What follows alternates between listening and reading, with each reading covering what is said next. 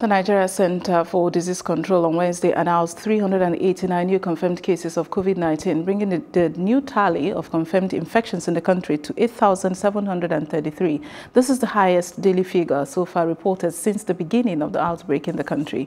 Kogi State recorded its first cases, a case of the disease. This implies that 35 states and the Federal Capital Territory have now reported at least a case of the disease.